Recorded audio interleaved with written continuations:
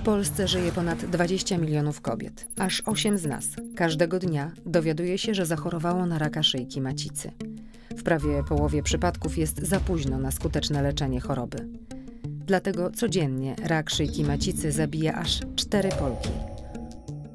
W Polsce umieralność spowodowana tym nowotworem jest o 70% wyższa niż w innych krajach Unii Europejskiej.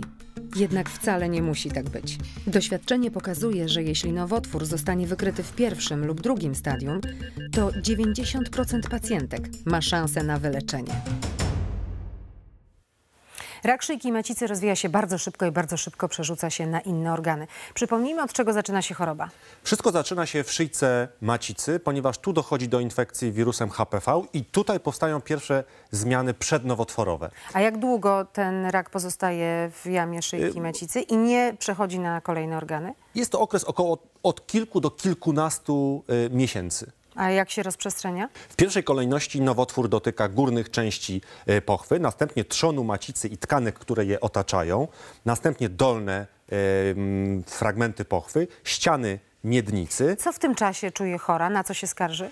E, Kobiety współżyjące mogą e, obserwować jedynie plamienia lub krwawienia, natomiast kobiety, które nie współżyją, mogą nie mieć żadnych dolegliwości. No ale niestety rak na tym etapie się nie zatrzymuje. Niestety e, rak nie zatrzymuje się na, tej, na tym etapie, ponieważ w następnej kolejności dotykać może moczowodów, które zostaną zaciśnięte przez chorobę nowotworową i upośledza to odpływ moczu i niewydolność nerek możemy obserwować. Następnie pęcherz moczowy, odbytnicę, wątrobę, jelita i na końcu zwykle atakuje płuca. Jak walczyć z tym nowotworem? E, We wczesnych etapach trzeba powiedzieć, że nowotwór jest w pełni wyleczalny i wystarczą metody leczenia miejscowego. Wycięcie czy w jakikolwiek sposób zniszczenie tych, e, tych komórek. Jeśli e, nowotwór dotyka już całej macicy, no wtedy mamy zabieg usunięcia macicy, czyli histerektomię. Ale niestety w miarę rozwoju pozostaje nam tylko leczenie uogólnione w postaci chemio, radioterapii czy chemioradioterapii. Wszystko zależy od stanu pacjentki, a przede wszystkim od e, typu histologicznego tkanek nowotworowych. To rozległe leczenie właśnie przeszła 32-letnia Ania. Zawsze starałam się badać regularnie, jednak gdy w moim życiu pojawiło się coraz więcej obowiązków, gdzieś te wizyty u lekarzy schodziły na dalszy plan, mimo że przychodziły e, zaproszenia na bezpłatną cytologię. Nagle pojawiało się wiele różnych innych przeszkód, typu trzeba było zostać w pracy, posprzątać dom.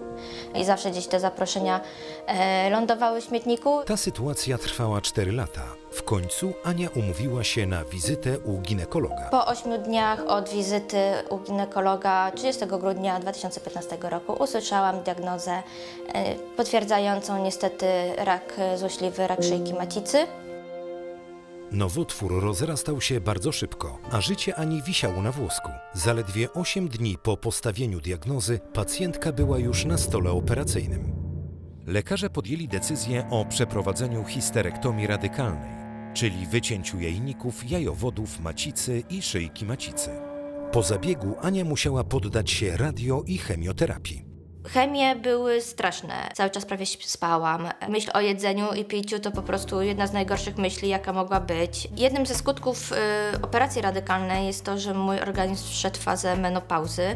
W momencie, kiedy byłam osłabiona i uderzenie gorąca mnie dopadało, to był chyba jeden z gorszych y, dni i okresów całkowitego leczenia. Ania dzięki dodatkowemu ubezpieczeniu mogła pozwolić sobie na środki, które uśmierzają ból i łagodzą niepożądane skutki terapii onkologicznej. Suplementy diety, te lepsze, niestety nie są refundowane i nie, nie należą do najtańszych. Zwróciły mi się koszty też dodatkowych jakichś badań, które niestety gdzieś tam musiałam robić prywatnie, e, bo były potrzebne na CITO. Dzięki temu, że byłam ubezpieczona, mm, miałam taką świadomość, że mogę bezpiecznie przejść przez chorobę. Leczenie zakończyło się sukcesem, ale Ania przez całe życie będzie zmagać się ze skutkami choroby. Zaczęło do mnie docierać, że nie zostanę biologiczną matką, nie urodzę. Akurat był taki etap, że mm, co druga moja wiadom wiadomość od moich znajomych, to się okazywało, że ktoś tam jest w ciąży.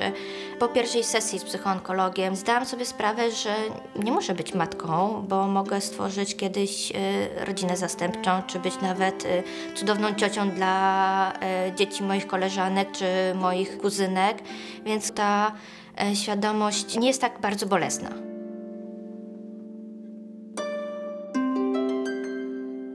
A nie, wiadomość o raku przeraziła, ale nie wszyscy tak reagują. Znam osobiście osobę, która powiedziała, nie dam się, będę z nim walczyć. Dokładnie. Każdy reaguje inaczej i jest naprawdę wiele takich osób, które reagują tak bardzo zadaniowo. Może być tak, że jest to wielkie wyzwanie, a bardzo pomagają też też motywacje typu małe dzieci, fajna praca, czy w ogóle życie przed sobą. Także No może dobrze. A powiedz, jak mają e, reagować ci najbliżsi, rodzina? Bo rodzina często bywa po prostu przerażona. Tak, to jest y, bardzo częste zjawisko, że zgłaszają się najpierw osoby z rodziny do psychoonkologa, a rodzina szuka takiego szkolenia jakby z tego, jak być dobrym wspierającym, bo bardzo chce pomagać, bardzo chce pomagać tej osobie przejść leczenie. I one rzeczywiście szukają em, takiego przepisu na to, jak to robić. Oczywiście przepisu nie, Nie ma. ma, E, Przepisu nie ma, trzeba rozmawiać ze sobą, to jest przepis. Powiedz mi, czy można się w ogóle w jakikolwiek sposób przygotować na taką wyniszczającą chorobę, jaką jest rak? Przygotować się mm, pewnie można tak jak na każdą trudną sytuację, to znaczy wiedzieć, że to może w życiu wystąpić, że może być trudniej, tak? Bo zmienia się właściwie no, w bardzo szybkiej chwili cały świat.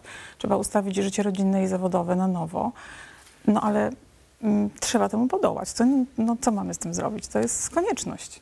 Jedyne, co możemy zrobić bez pewności, bez tej informacji, że oto właśnie e, jest ten wyrok w cudzysłowie, e, to właściwie pomyśleć, co by się stało, gdybym nagle stracił pracę. Czy jestem na to przygotowany i zabezpieczony? To są, e, myślę, że takie rozważania, które dobrze by było podejmować w ogóle, prawda, w życiu i, i nazwijmy to, no, zabezpieczać w jakiś sposób, tak. Choroba i na przykład, no, no, nie- niesie za sobą wielokrotnie trudności wszelkiego rodzaju, również finansowe, więc takie zabezpieczenie jest jak najbardziej sensowne, żeby się e, do tego w jakiś sposób przygotowywać, rozmyślać wcześniej. Tak właśnie udało się wygrać e, walkę z chorobą nowotworową Dorocie, która dzisiaj sama e, opowiada o tym, jak przygotować się e, na odbudowanie swoich finansów, jak się zabezpieczyć na wypadek takiej choroby.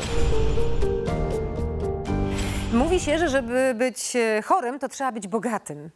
bogatym albo ubezpieczonym. I tu od razu chciałabym obalić mit kosztu takiego ubezpieczenia.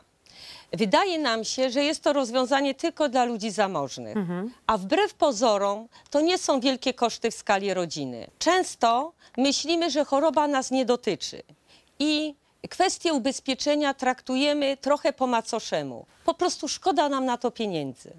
Natomiast w momencie choroby, kiedy oprócz stałych wydatków typu kredyty, e, rachunki, pojawiają się kolejne, tak zwane koszty okołomedyczne, choćby takie jak dojazd do szpitala, zmiana diety, suplementy, które w żadnej mierze nie są refundowane z NFZ-u, wówczas ubezpieczenie staje się produktem pierwszej potrzeby.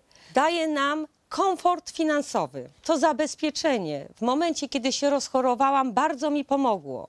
Mogłam skupić się tylko i wyłącznie na walce z nowotworem, a nie martwić się o swoje finanse. To jest bardzo ważne, mieć taką spokojną głowę, przynajmniej w sferze finansów. No tak. Doroto, ja rozumiem, że teraz, jeżeli pojawiły się u naszych widzów jakieś pytania, to mogą ci je zadać i odpowiesz na nie. Tak, serdecznie zapraszam, szerzej o tym opowiem na czacie. Przypominam naszą stronę 366.tvn.pl.